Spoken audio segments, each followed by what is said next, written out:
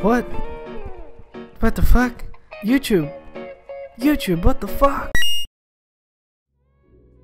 I like making short films. It's a hobby of mine I've been doing since I got my very first camera. Me and my sister, when we were younger, used to come up with ridiculous ideas about a whole bunch of things ninjas, superheroes, and terrorism.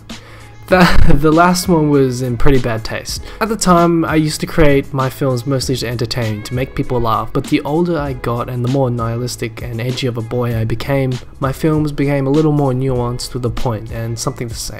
But recently going back to all my cringy videos, I realized something. All of them had a point. They all had something to say, even the ones with me as a terrorist.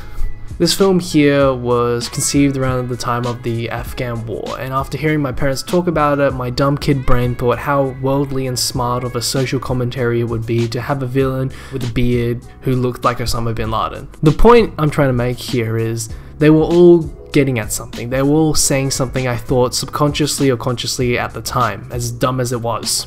So that got me thinking, once something leaves the mind of the creator, is that piece of art always biased and politicized from someone or some people's point of view? So in this video I'm going to try my best to argue that art is okay to be political. Unaware or, aware cognitively, it really doesn't matter. Politicized art doesn't matter as long as it's emotionally compelling at the end of the day. So politics and art, and where does it stem for? What exactly am I talking about? What do I mean when art is political? There's been a lot of discourse around this subject of politics and art due to the fact that currently a lot of shows, games, and films are under a lot of scrutiny because there's been a lot of instances of changing someone's previous vision to better suit an agenda. In my personal opinion, once art ceases to be sincere, it diminishes the experience for me. Most recent example of a piece of entertainment I actually cared about that I think of which has become politicized is the most recent season of Doctor Who, Series 11.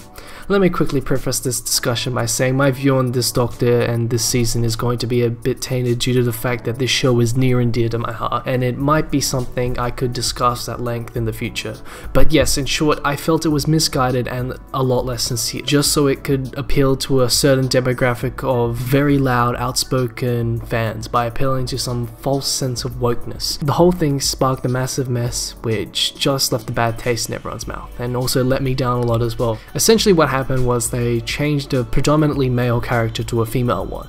This is explained within the context of the show and that's what the Doctor can do as a character, but I thought it was a bit ham-fisted. I had high hopes for Jodie Whittaker as the Doctor because I honestly thought she would have been a great choice because she's seen her in so many things and she's a really cool person but man, the writing did not have any caveats to it. So the obvious culprits here are third wave feminism, SJWs, and supposedly PC culture going too far as a whole. But with that said, I feel like the issue is a little bit more nuanced than that. Also, not to say I endorse those things I said previously, I just want to address that because some people made some assumptions on my political alignment due to my why I don't like anime fan service video.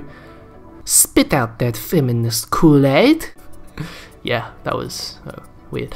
What I'm getting at here is art in the current political landscape is being altered to shift a certain political ideology. Not just critiquing the left here, but also there have been instances where conservative media has been tainted by its politicized opinion. I personally don't see an issue with that either way as long as it's enjoyable, because I think all art has a point to make anyway. I say create the art you want to create, if, if that be it a piece of entertainment to push an agenda. As long as it's sincere and good, what does it really matter at the end of the day? As long as the agenda you're pushing is a positive one rather than one built on pushing forward a bad message.